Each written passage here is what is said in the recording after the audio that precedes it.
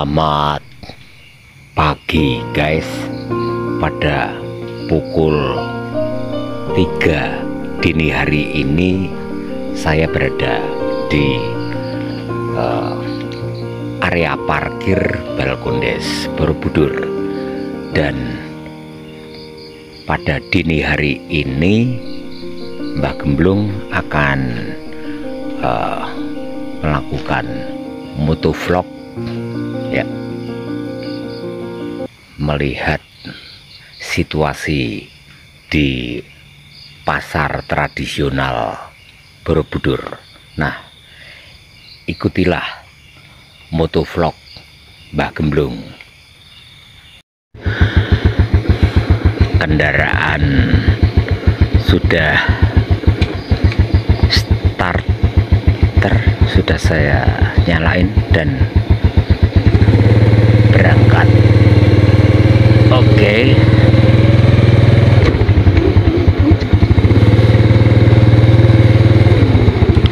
hujan semalaman membasahi bumi dan membasahi tanah sebuah kendaraan minibus melintas dan sepeda motor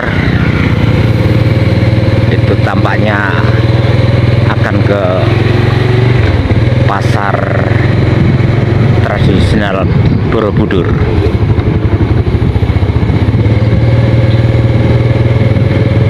Sekarang ini Mbah Gemblung melintas di jalan. Ini adalah jalan menuju Pondok Setumbu tetapi arah berbalik ini berada di dusun Ngaran 2 ya. Desa Borobudur dan di depan Mbak Gemblung ada perempatan. Perempatan kalau lurus menuju uh, dusun Gedongan ada omah budur di sana ada uh, budidaya jamur ke arah kiri ini menuju ke Borobudur kalau ke arah kanan sana menuju desa wisata Songo. Tampak sebuah kendaraan melintas ya. Mbak Gemblung akan jalan pelan-pelan saja. Di sini ada tanda rambu awas. Semua pengendara harus memperhatikan rambu-rambu lalu lintas dan harus waspada di sepanjang jalan. Ya. nah guys.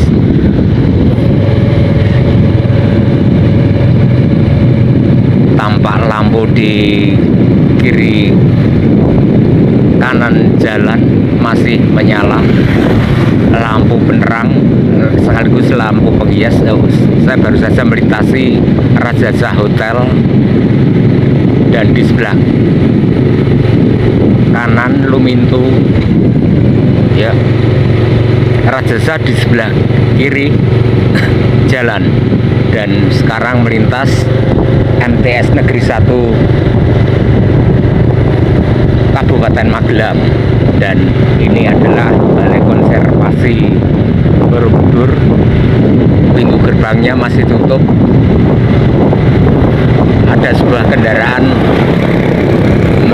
menyalip mendahului Mbak wah ini pintu tujuh. Ya pintu tujuh.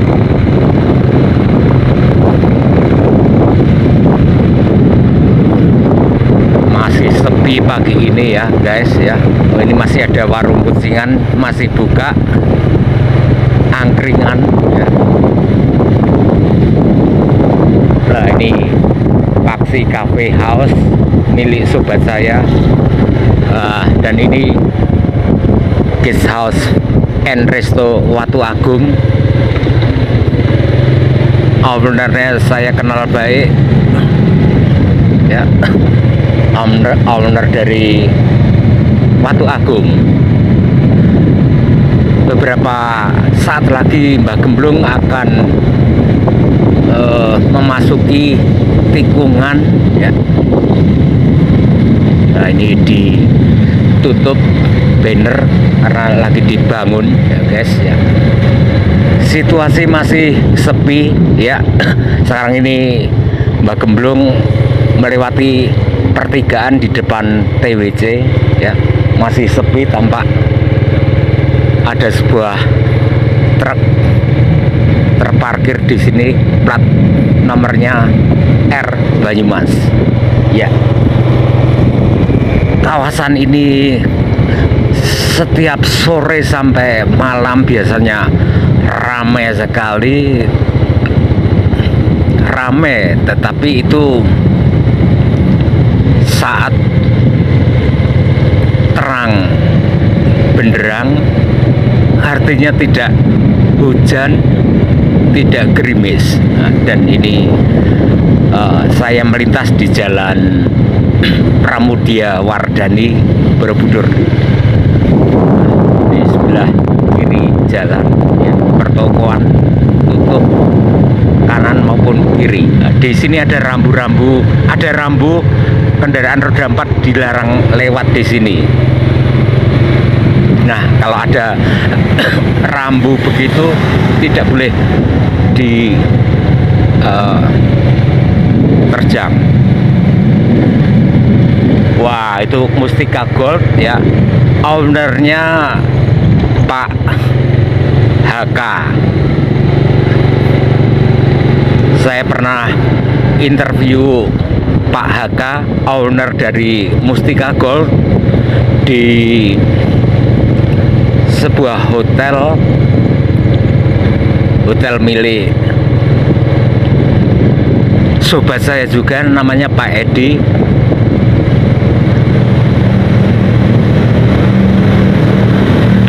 hotel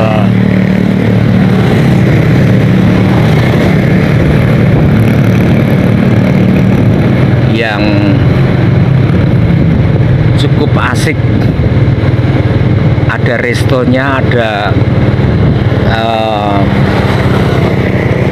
kolam renangnya 20 unit uh, kamar hotel. Ya guys inilah situasi pagi di pasar rakyat Borobudur sudah rame. Ya sudah ada uh, para pembeli ataupun para pedagang ya. Inilah pasar rakyat Borobudur. Tempat transaksi jual beli tempat kulaan juga. Situasi di sini ya sangat dinamis. Tempat pergerakan ekonomi rakyat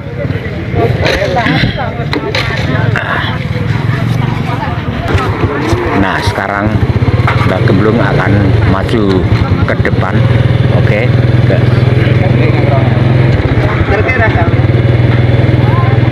Ya.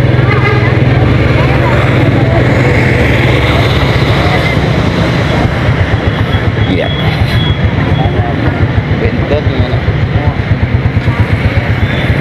Nah ini kendaraan Ayak istilahnya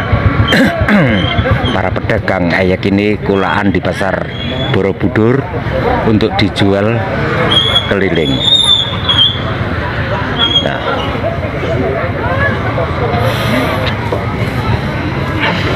Oke.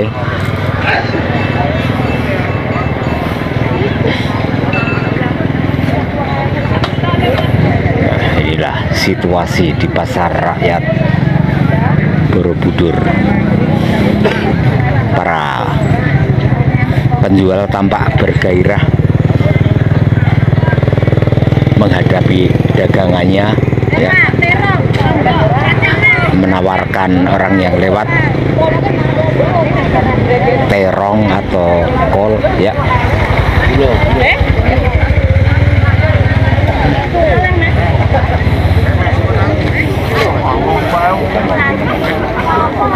Mas Bro ngobrol dengan channel saya ya. Apa kabar? Sehat ya? Ini mau anu beli atau gimana Mas Bro? Eh, cari-cari. Oke, dari mana Mas? Oh, buru-buru saja. Jaga stamina, jaga kesehatan ya. Ya, baru saja saya ngobrol dengan warga Borobudur saja. ya. Tampaknya mau eh, cari barang yang di di barang yang dicari tentunya. Ya. Nah, nanti saya akan ajak ngobrol pedagang yang ada di sini. Guys, di sini ada tertulis dilarang parkir. Tapi ada juga kendaraan yang parkir di sini. Mungkin nggak lihat ada tanda parkir itu. Ya, tampak sebuah kendaraan roda dua melintas ya. Dan sekarang ini Mbak Gembrung masih berada di eh, Jalan Pramudya Wardani. Ya, ini akan kulaan.